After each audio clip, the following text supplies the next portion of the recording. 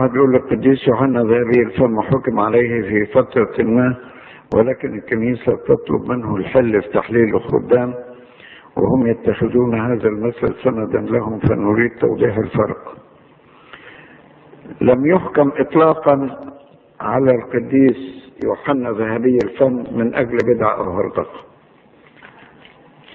كل ما في الحكاية كان هناك خلاف بينه وبين البابا توفيلس الإسكندري حول الأخوة الطوال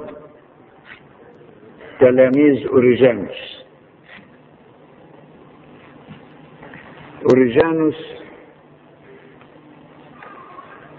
الكنيسة حرمته ولكن كان في ناس